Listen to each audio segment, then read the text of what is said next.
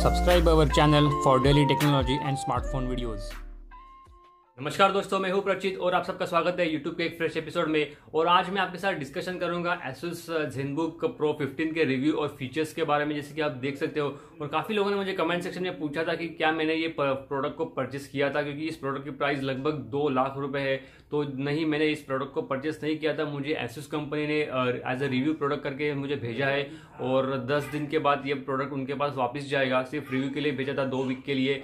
तो और इसका कुछ पेड प्रमोशन या फिर ऐसा कुछ नहीं है, जो भी चीज़ें मुझे जेन्यून लगती है, उसके लिए मैं ये वीडियो बना रहा हूँ। तो आज की वीडियो में मैं आपको साथ दिखाता हूँ कि क्या क्या नए फीचर्स है इस पर्टिकुलर लैपटॉप में जो मुझे पसंद है स्पेशली और बात करते हैं थोड़े बहुत डिटेल रिव्यू की। अगर हमेशा की तरह अगर आपको वीडियो अच्छी लगती है तो लाइक और सब्सक्राइब भी ज़रूर करना। और आपको कोई भी सवाल डाउट रहेगा, वो भी कमेंट्स में ज़रूर डाल देना। So without any further delays let's get started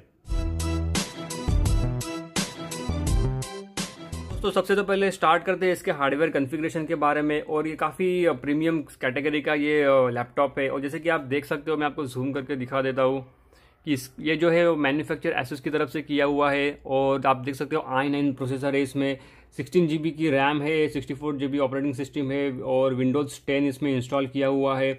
और वन टेराबाइट का स्टोरेज इसमें हमको मिल जाता है। और इसके अलावा अगर हम लोग बात करते हैं तो फोर जी का डेडिकेटेड ग्राफिक्स कार्ड भी मिल जाता है। फास्ट चार्जिंग का भी सपोर्ट इसमें हमको मिल जाता है। तो काफ़ी पावर पैक हार्डवेयर के साथ इस पर्टिकुलर लैपटॉप को एसुस ने लॉन्च किया हालाँकि 2018 में ही लॉन्च किया था करीबन अगस्त के करीब। और इंडिया में अभी अभी ये लॉन्च हुआ है ये पर्टिकुलर प्रोडक्ट तो हार्डवेयर के मामले में तो काफ़ी अच्छा प्रोडक्ट है, कोई भी इशू नहीं है। और सबसे तो पहले बात करते हैं डिस्प्ले की, जो मुझे काफ़ी सबसे वाइब्रेंट लगा और काफ़ी पसंद आया। 4K OLED डिस्प्ले हमको मिल जाता है इसमें। और आप इसकी डिस्प्ले की क्वालिटी भी आप देख सकते हो, मैं आपको जूम करके दिखा देता हूँ। ये पर्टिकुलर यूट्यूब वीडियो मैंने प्ले किया हुआ था तो आप क्वालिटी भी देख सकते हो डिस्प्ले की, मैं उसको फुल ब्राइटनेस लेवल पे लेके जाता हूँ। और काफ़ी विविड एंगल्स और काफ़ी अच्छी क्लैरिटी हमको इसमें मिल जाती है। और डेफिनेटली मैं कहूँगा काफ़ी अच्छा ये डिस्प्ले है। हालाँकि ये कैमरा में कितना कैप्चर होगा मुझे पता नहीं, लेकिन, जब भी आप सामने से देखते हो तो काफ़ी ब्राइट और काफ़ी विविड डिस्प्ले दिखता है फोर डिस्प्ले और डेफिनेटली एक काफ़ी अच्छा डिस्प्ले है। मुझे तो काफ़ी पसंद आया। और इस प्राइस पॉइंट में तो इतना डिस्प्ले तो मिलना ही था फोर के ओ डिस्प्ले तो ये का काफ़ी एक अच्छी चीज़ है। इसके अलावा इसमें ड्यूएल डिस्प्ले आता है और जो सेकंड डिस्प्ले आता है, वो एज अ 5.5 इंच का full H D plus display LCD display है। जिसका आप काफ़ी तरीके से इस्तेमाल कर सकते हो। और इसमें आपको ऑप्शंस भी उन्होंने दे दिया है कि ड्यूएल डिस्प्ले को कैसे यूज़ करना है करके। इस डिस्प्ले की और एक खासियत है कि ये डिस्प्ले टच पैड से भी काम करता है, जैसे कि आप देख सकते हो। मैं इसमें डबल क्लिक करता हूँ तो ये ओपन हो जाएगा। आ, बाद में इसको क्लोज़ करता हूँ यहाँ से।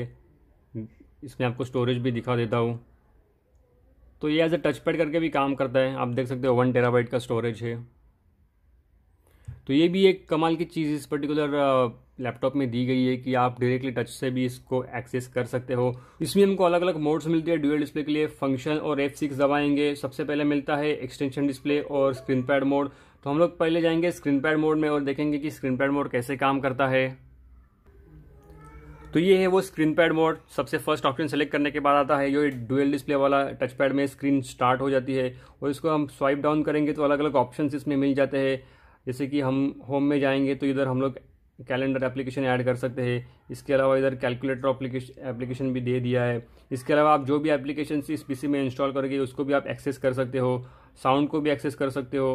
यहाँ से आप प्लेलिस्ट अपनी प्ले कर सकते हो स्पॉटिफाई भी है, और यहाँ से सेटिंग्स को भी एक्सेस कर सकते हो ब्राइटनेस को कम ज़्यादा कर सकते हो। तो ये एक चीज़ अच्छी है, ये स्क्रीन पैड मोड में आपको ये पर्टिकुलर चीज़ें मिल जाएँगी। तो आप मेन स्क्रीन में काम भी कर सकते हो, और इस पर्टिकुलर सेकेंडरी स्क्रीन में कोई एप्लीकेशन छोटा एप्लीकेशन यूज़ करके उसको भी इस्तेमाल कर सकते हो। अभी जो नेक्स्ट सेक्शन उन्होंने दिया है, वो एक्सटेंशन डिस्प्ले मतलब मेन डिस्प्ले को आप इस पर्टिकुलर डिस्प्ले में भी ले सकते हो, वो भी मैं आपको दिखा देता हूँ। तो इस तरह से कुछ आपको ड्यूअल डिस्प्ले का मोड मिलेगा। जैसे कि आप देख सकते हो, दो डिस्प्ले काम कर रहे हैं। ये जो मेन डिस्प्ले आगे है और ये सेकेंडरी डिस्प्ले भी काम कर रहे हैं। स्क्रीन पैड मोड अलग था और ये एक्सटेंडेड डिस्प्ले का जो मोड है वो अलग है। और इसमें आप यहाँ से भी ऑपरेट कर सकते हो और वहाँ से भी ऑपरेट कर सकते हो। और मानो आपने यहाँ से कुछ ओपन कर दिया है लेट से गूगल क्रोम को आपने ओपन किया यहाँ से। मैं इसको ओपन करता हूँ। और आपको इसको, आप इसको ड्रैग एंड ड्रॉप भी कर सकते हो सेकेंडरी डिस्प्ले में। तो आप देख सकते हो, मैं ड्रैग एंड ड्रॉप कर रहा हूँ। तो एक क्रोम इधर आ गया। और फिर आप यहाँ से आप अपना काम भी कर सकते हो चाहे आपको यूट्यूब देखना है यूट्यूब देख सकते हो सॉन्ग सुनना है सॉन्ग सुन सकते हो, या फिर कोई भी मल्टीमीडिया टास्क कर सकते हो और यहाँ मेन स्क्रीन पे काम भी कर सकते हो। तो ये ड्यूएल डिस्प्ले कुछ इस तरह से काम करता है। हालाँकि इसका कितना यूज़ नॉर्मल पीपल को होगा, उसको मुझे आइडिया नहीं है। लेकिन ये काफ़ी यूज़फुल चीज़ है उनके लिए जो मल्टीटास्किंग करना प्रीफर करते हैं। मतलब एक साथ जिनको दो दो मॉनिटर की ज़रूरत पड़ती है, उनके लिए काफ़ी अच्छी चीज़ है कि आप यहाँ से डायरेक्टली आप स्क्रीन पैड्स के थ्रू मल्टीपल एप्लीकेशंस भी एक्सेस कर सकते हो, या फिर ड्यूअल डिस्प्ले लेके आप यहाँ के एप्लीकेशंस यहाँ भी लेके काम कर सकते हो। तो ये एक चीज़ मुझे काफ़ी अच्छी लगी इस पर्टिकुलर लैपटॉप में। अभी इसके साउंड क्वालिटी के बारे में बात करते हैं, उसको दो बॉटम फायरिंग स्पीकर्स इसमें दिए और मैं आपको दिखा देता हूँ, उसकी साउंड क्वालिटी कैसी आती है, एक रैंडमली कोई तो सॉन्ग प्ले करके दिखा देता हूँ। तो आपको भी एक आइडिया आ जाएगी। और ये साउंड है 56 परसेंट पे। तो आप देख सकते हो कि पूरा 100 परसेंट भी बहुत ही लाउड साउंड है।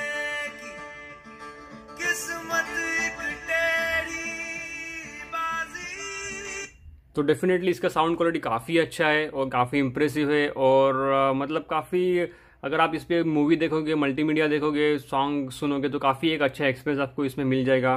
हालाँकि प्राइस भी वैसे ही है और अभी सीधा आते हैं प्राइस के ऊपर। प्राइस है दो लाख के ऊपर और हमको पता है दो लाख काफ़ी ज़्यादा प्राइस हो जाती है एक नॉर्मल मिडिल क्लास पर्सन के लिए। लेकिन ये लैपटॉप उतने फीचर्स भी प्रोवाइड करता है। काफ़ी प्रीमियम सेगमेंट में आता है। सभी हार्डवेयर पावर पैक परफॉर्मेंस है। आपको ड्यूएल डिस्प्ले मिलता है O L D O L के डिस्प्ले मिलता है फिंगरप्रिंट सेंसर मिलता है और काफ़ी सारी अच्छी चीज़ें भी है इसमें। ये प्रीमियम सेगमेंट में लैपटॉप आता है और मुझे तो काफ़ी पसंद आया, लेकिन खैर ये तो रिव्यू यूनिट है और ये यूनिट फिर से जाएगा एसोस कंपनी को तो मैं तो इसको यूज़ नहीं कर पाऊँगा लेकिन शायद अगर कभी मुझे ऐसा मौका मिला तो मैं ऐसे ही कोई लैपटॉप परचेज करना पसंद करूँगा। अगर आपको ये वीडियो अच्छी लगती है तो लाइक और सब्सक्राइब भी ज़रूर करना और आपका कोई भी सवाल या डाउट रहेगा वो कमेंट्स में ज़रूर डाल देना। तो मिलते हैं अगले वीडियो में। Till then thank you very much and see you soon